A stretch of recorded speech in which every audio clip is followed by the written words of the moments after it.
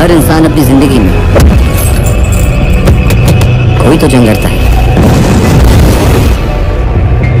Uncle उसके बाद में क्यों पूछ रहे? हो वो तो एक साइको है। मेरे सन के बेटे ने उसका नाम अपनी डायरी में लिखा है।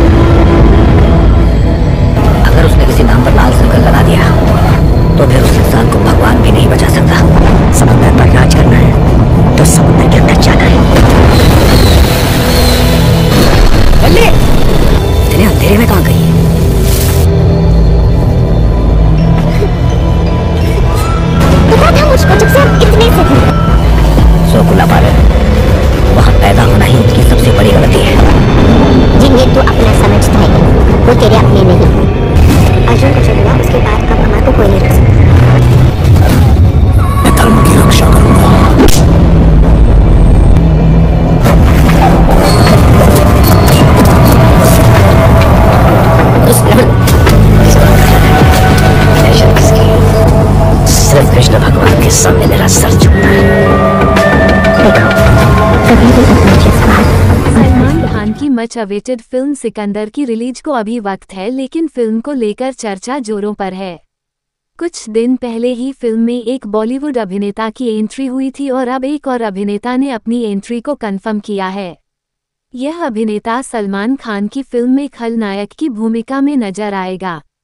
जानिए कौन है वो अभिनेता। एंटरटेनमेंट डेस्क नई दिल्ली।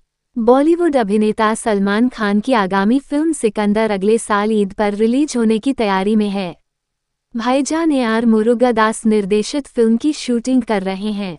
इस बीच फ़िल्म में एक अभिनेता की एंट्री हुई है, जो खलनायक की भूमिका निभाते नज़र आएँगे। साजिद नाडियावाला निर्मित सिकंदर में सलमान खान का सामना सैंतीस साल के एक्टर के साथ होने वाला है। काफ़ी समय से फ़िल्म के विलेन को लेकर चर्चा हो रही थी। अब खुद अभिनेता ने अपनी भूमिका को कंफर्म कर दिया है। यह अभिनेता कोई और नहीं बल्कि राज बब्बर और स्मिता पाटिल के बेटे प्रतीक बब्बर हैं, जिन्होंने जाने तू या जाने ना से बॉलीवुड में कदम रखा था। लंबे समय से उनकी एंट्री की अफवाहें उड़ रही थीं। जब अभिनेता से सिकंदर में आने की अफवाहों को लेकर पूछा गया, तब उन्होंने इंस्टेंट बॉलीवुड सग बातचीत में कहा इसके अलावा प्रतीक बब्बर ने सलमान खान को मेगा स्टार बताया है। उन्होंने ये भी कहा कि जब उन्होंने अभिनेता के साथ सीन शूट किया, वो उनके साथ बहुत विनम्र रहे हैं। उन्होंने उनका बहुत सपोर्ट किया है।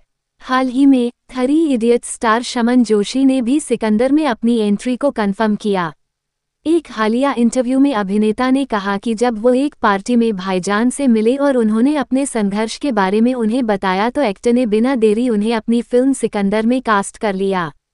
अगले साल ईद पर रिलीज़ हो रही सिकंदर में सलमान खान, साउथ सेंसेशन रश्मिका मंदाना के साथ पहली बार स्क्रीन शेयर करते हुए नज़र आएँगे।